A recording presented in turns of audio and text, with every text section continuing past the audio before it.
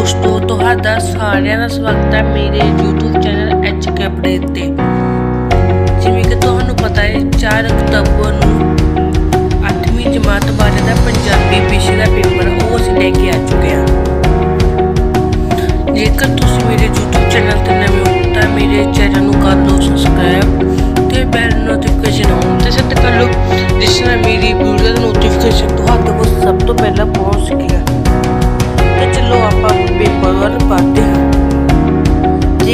Paper pattern ਦੀ ਗੱਲ ਕਰੀਏ ਤਾਂ ਇਹ ਪੇਪਰ ਕੁੱਲ 90 ਦਾ ਹੋਵੇਗਾ ਤੇ ਇਸ ਨੂੰ ਹੱਲ ਕਰਨ ਲਈ ਤੁਹਾਨੂੰ ਤਿੰਨ ਘੰਟੇ ਦਾ ਸਮਾਂ ਦਿੱਤਾ ਜਾਵੇਗਾ।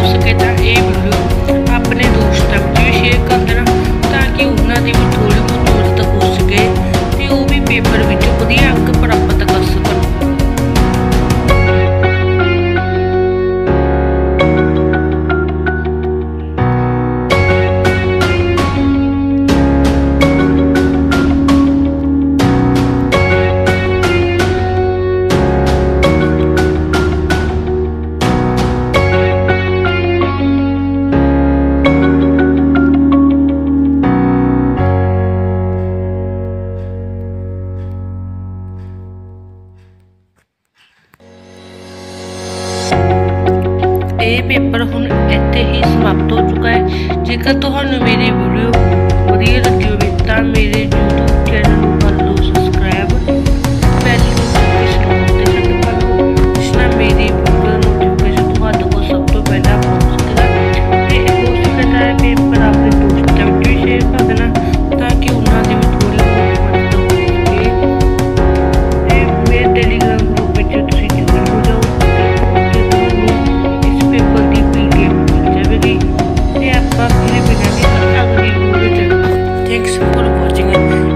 Por isso escrevo no meio do